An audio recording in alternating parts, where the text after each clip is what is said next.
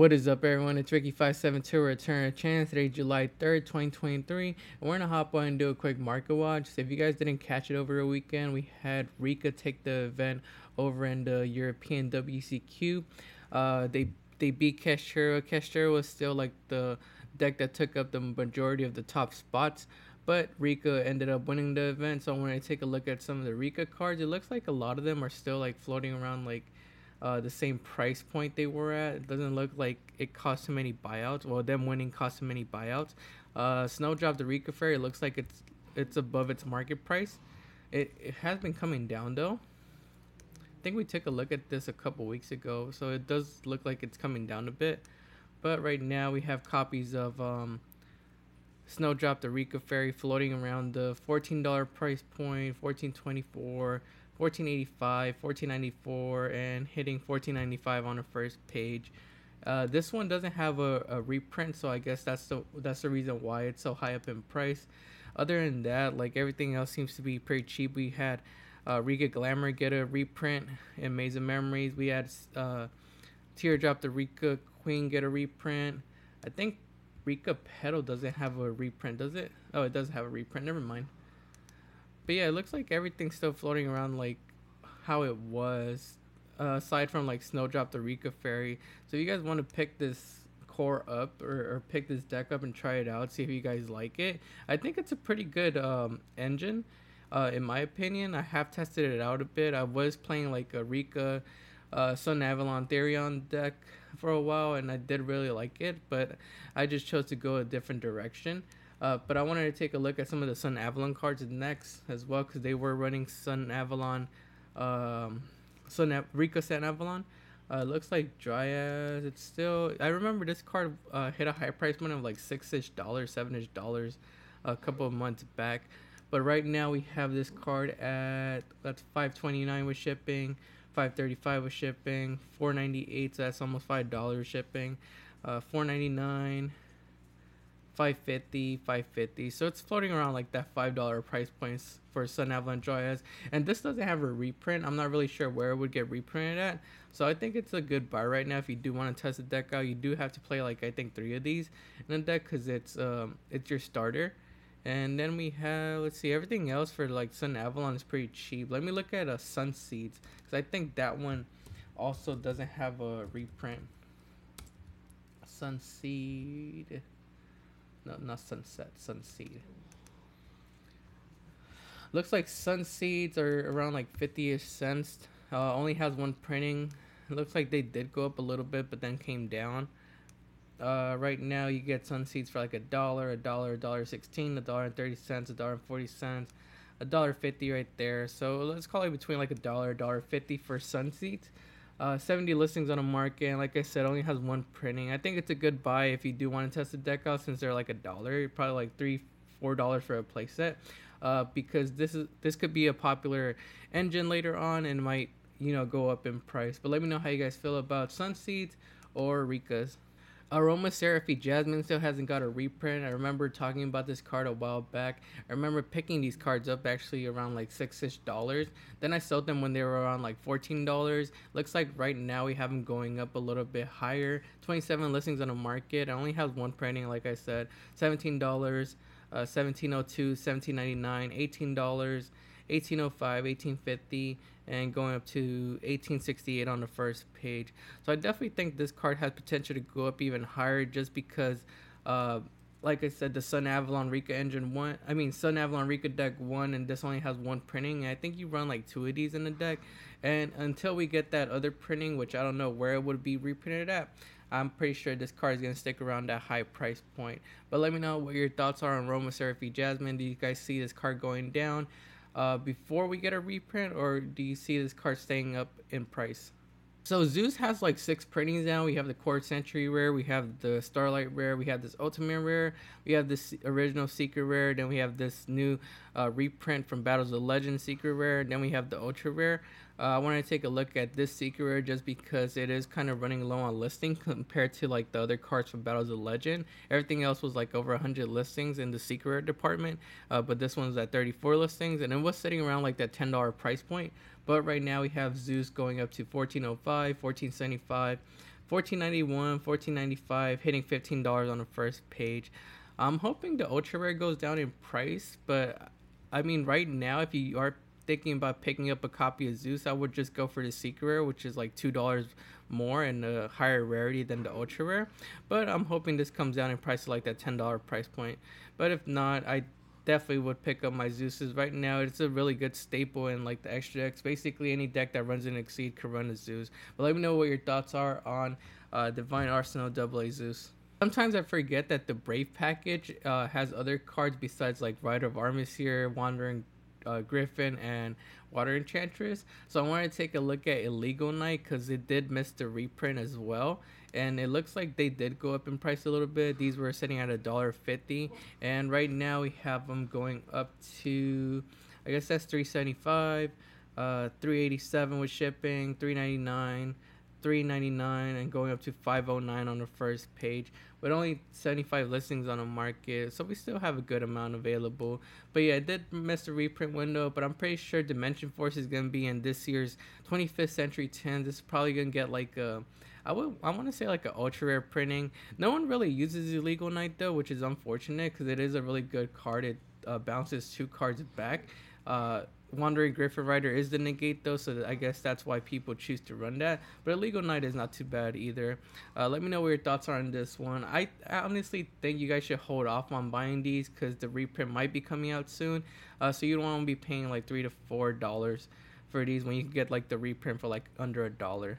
So I'm a little bit late on this one, but we do have the rarity collection coming out later on this year in November. I'm hoping that the cards we get reprinted though are different from the OCG list. We'll take a look at that one right now. But so far we have Baronne, Borreload, Savage Dragon, Ash Blossom, Effect Veiler, Nibiru, Pot of Prosperity, Triple Tactics Talent, Forbidden Droplet, Egyptian God Slime, and Infinite Imperm all confirmed to get like uh, reprints in this set. For the OCG, if you guys want to take a look at that one.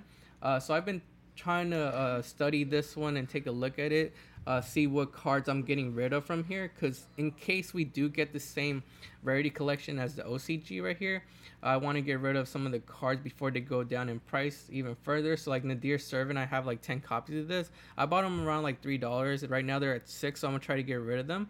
Uh, but if they do get reprinted later on and if I hold off on getting rid of them and take the risk, these might go down like in price.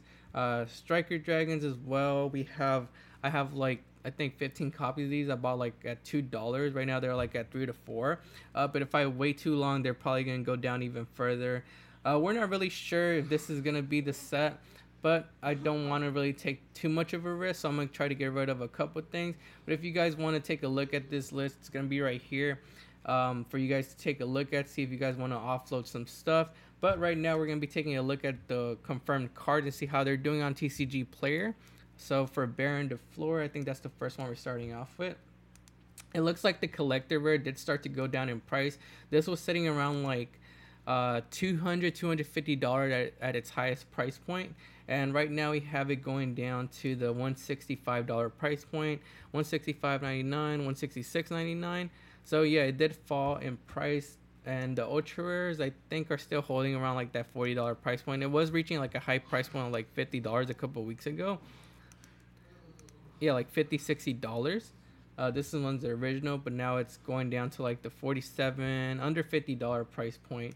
And for the reprint, the reprint was hitting yeah like $60 too and right now we have it back down to under $45 $46 40 well let's call it like 46ish dollars right here but yeah baronne de fleur did start to go down in price Droplet looks like it's kind of at the same price I saw it a couple weeks ago. It was like sitting around like $16. Looks like this Rise of the Duelist one is still sitting around like the $16, $17 price point. A couple listings under that price point, but for the most part, it's like $15, $16. Then we have the Ultra Rare from Legendary Duelist no one's really running for Forbidden Droplets. So I could see why it's going down in price, but we also have that reprint later on in November, so that might uh, incentivize more people to start fire selling. We have them at 1350, 1380, 1385, 1388, so like $14 for this ultra rare copy.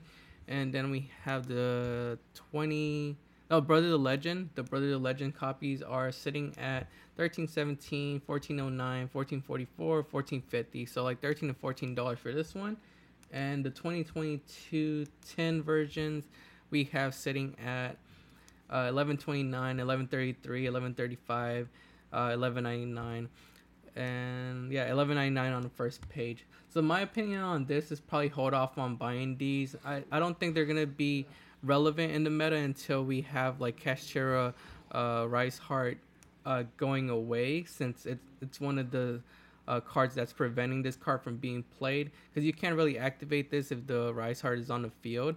And plus, we have um, the Rarity Collection reprint coming out, so we don't know how that's gonna affect the price on this one.